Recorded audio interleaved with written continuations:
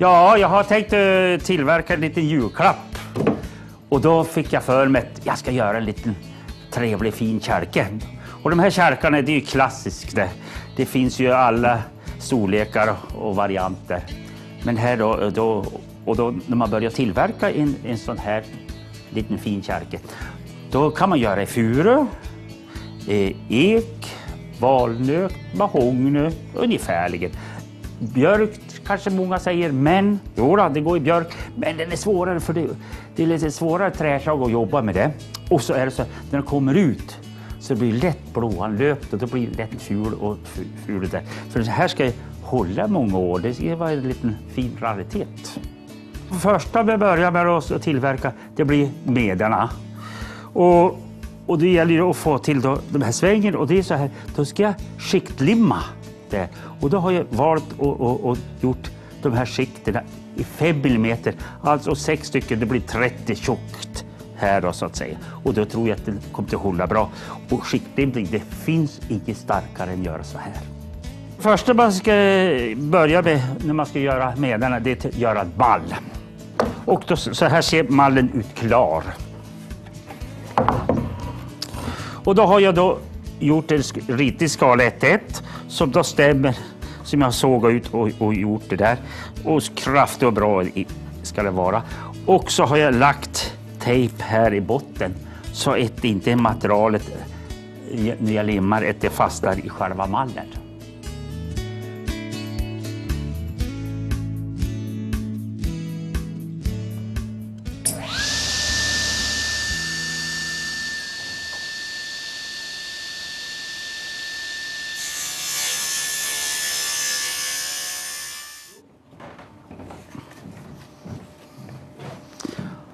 Nu har jag tagit fram råmaterialet till medarna. Och det är sex lameller då, så att säga. Vad jag ska göra nu det är ju att eh, jag ska ju först då se efter så en sida blir slät. Och då kör jag i, under, i planhyveln. Och sen när jag har fått en sida slät så vänder jag den och får, får in rätta tjockleken. Och det kallas för dubbelplan. Och, och jag har ju samtidigt gjort så här att jag har tagit fram dubbla bredden. Va? Så blir, av de här så blir det två medar. Och varför man gör det? Jo, det är för att när man lossar från mallen, då går för, förhoppningsvis de tillbaks lika mycket bägge två. Och då får man kärken i balans. Ja, för att slippa köra kutter till underbordet då har jag lagt hit en plywood på 12 millimeter. Och då klarar jag kutten och underbordet. Så är det bara att tuta och köra.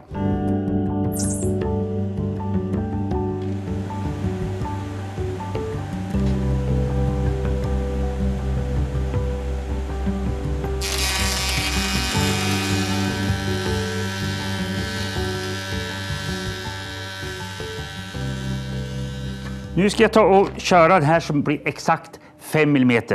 Och det är ju, då är det så här, Logosol-maskinen har ju en jädra otroligt fin finess som inte finns på någon annan maskin. Det är en här som man kan finställa till och med på hundradeling. Nu ska jag ha ner den här biten till 5 mm exakt och det är 6,3. Och det innebär att jag ska ta bort 1,3 mm och det går lätt och fint att ställa in det på den här maskinen. Ja, då ska jag ta ställningen här och 1,3 mm säger Då tar jag stortummen till hjälp. 1, 1,1, 1,2 och 1,3. Nu vet jag att nu kommer det ut där exakt 5 mm.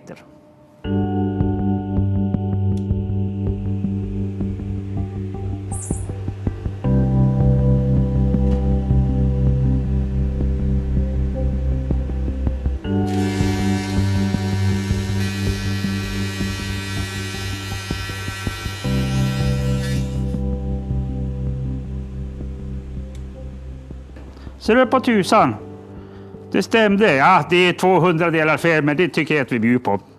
Det är putsmån.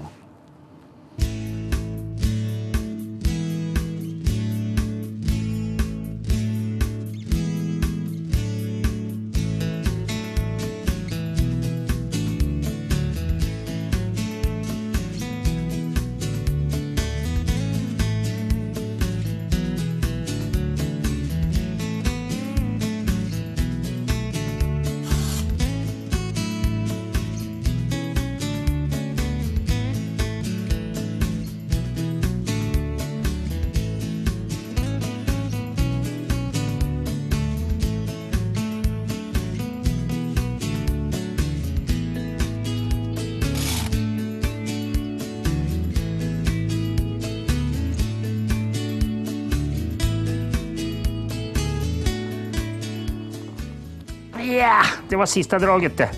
Nu ska den här på torkning.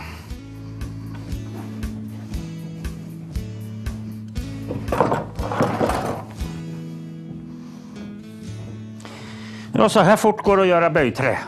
Men kom ihåg, den ska ligga minst åtta timmar i kläm för att den ska hålla formen.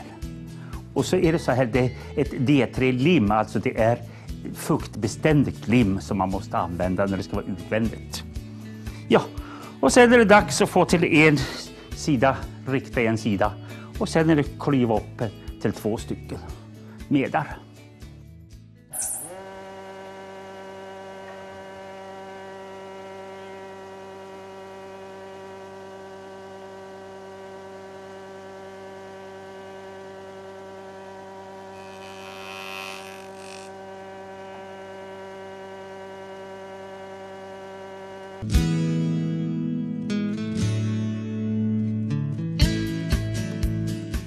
Ja, det här är som finessen på den här maskinen. Och det är det anhållet här som man kan vända och vrida. Där då är det när det är trångt och jädrigt. Här är det då när det är höga, och höga bitar man ska köra. Sätter man fast den så, så snabbt och bra och fint går det. Och sen grovjusterar man in. Då ska jag till att finjustera och då tar jag, då, så jag en eller två millimeter över. 22 millimeter. Då ska jag klara bredderna. Ja, låser mig fast riktigt och det är dags att klyva.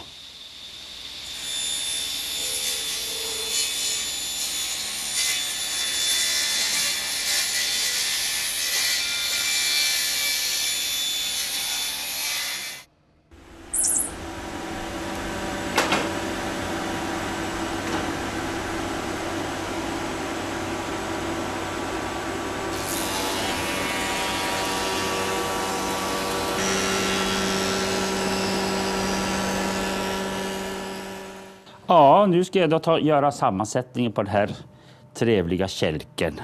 Och det är så här att bästa sammansättning och starkaste, det är att man gör tapp, hål och tapp. Det är absolut det bästa.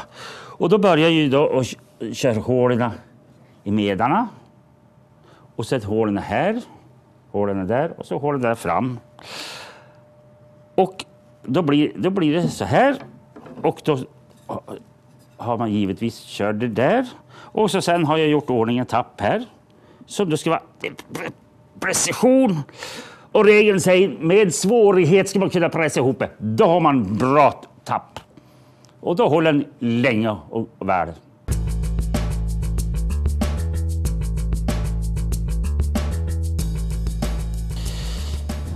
Ja, nu ska jag till att göra lång, äh, eh, långårshålen här. Och då har jag den, den eminenta MF30. Och den har ju då tiltat upp och gjort om till långårsborr. Och det är det som är suveränt. Man kan ju tilta den här i 180 grader och det är ju sanslöst bra. Och då är det bara att, att, att sätta in och så framförallt kommer jag hålla på att glömma. Man måste ha en provbit, kanske flera provbitar så man har chans att göra massa fel. Till slut blir det rätt. Så då kör vi igång och provar.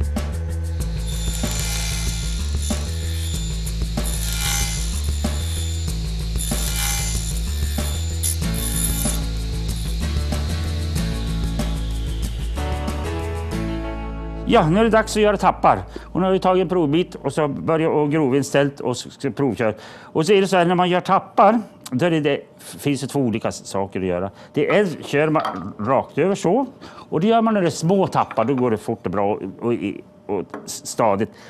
Är det större tappar, då kör man så här. Men nu har jag valt att köra så här. Så då ska vi ta och provköra den här.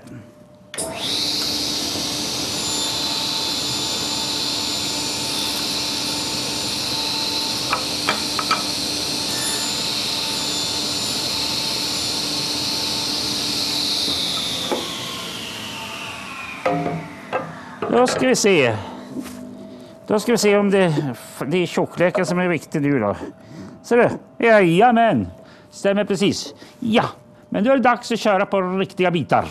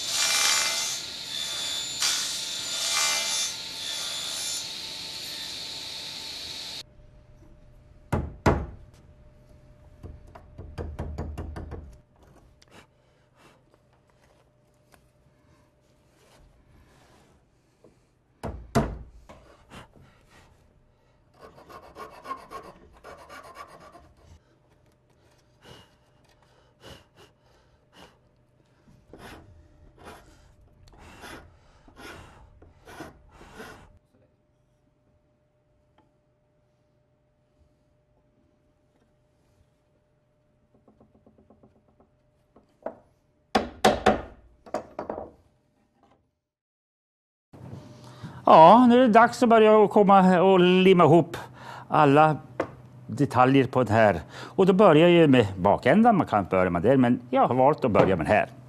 Förutsättningen är att när man kör igång, då är att man har en vinkel. Då är det lättare att få till i vinkel. Och sen har man givetvis putsat alla detaljer, rundat kanterna och gjort allting. Och så framför allt provlimma utan lim. Och då vet jag att det ser ut, jag har inställd och tvingar allting är klart. Då vet jag att det fungerar.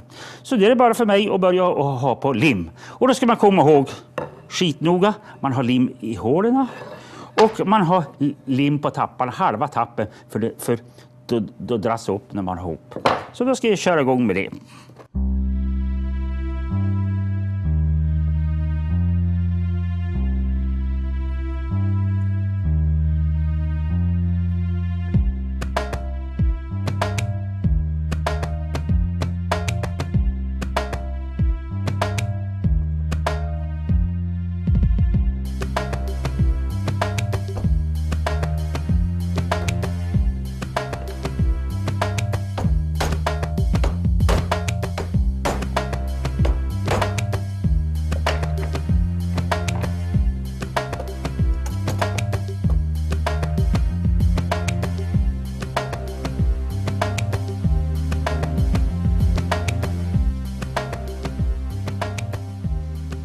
Ja, nu var det klart med den här limningen.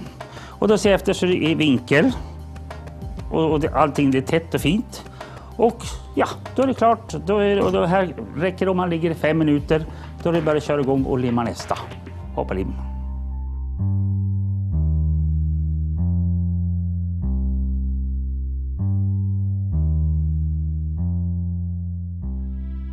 Nu börjar likna en kärke. Nu vad, vad jag ska göra nu det, och det jag ska såga de här och beta in det där.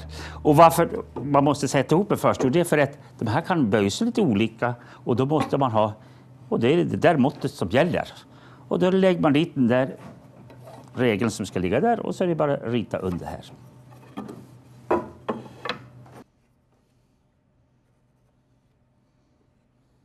Och det är så här och då ska jag såga så här. Men det här är ju vingligt. Det är omöjligt att få det bra. Men det finns en liten finess på den här sågen. Titta vad härligt.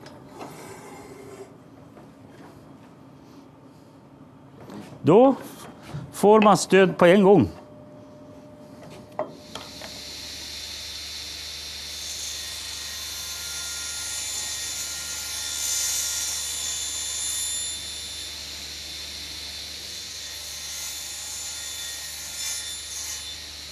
Och så gör jag så alltid så här. Jag tar inte allt på en gång. För utifall då man misslyckas lite och så vill man se det i vinkel och sådär.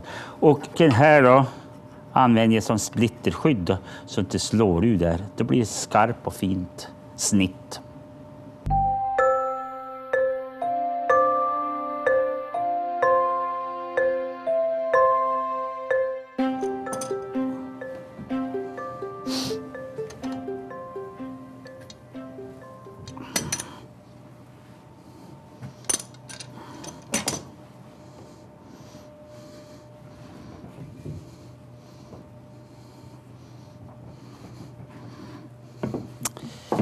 Ja, nu har jag limmat ihop ståndarna. Så nu är det dags att börja sätta på överdelen här. Ja, här har vi överdelen då. Och då har jag limmat om, limmat fast framfronten där. Och innan jag limmade ihop framfronten så har jag jackat ur då för ståndarna. Så det ska passa precis. Och så har jag även borrat hål och försänkt eh, hålen nu då, och, och, hoppas att jag har gjort rätt så det passar allting. Det blir dunka dit. Och du är att sätta på tving och dra åt här och så skruva. Ja, och som synes då så är det ju inte riktigt tätt va. Och då är det bara att ta en, en, en tving. Dra åt, tätt och fint.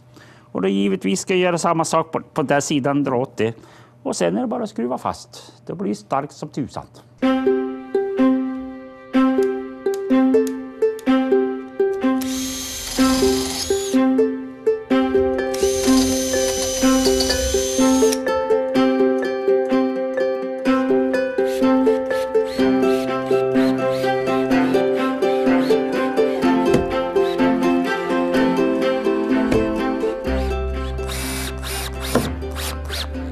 Ja, nu var det klart. Sen är det dags för mig att sätta dit mellanbitarna här.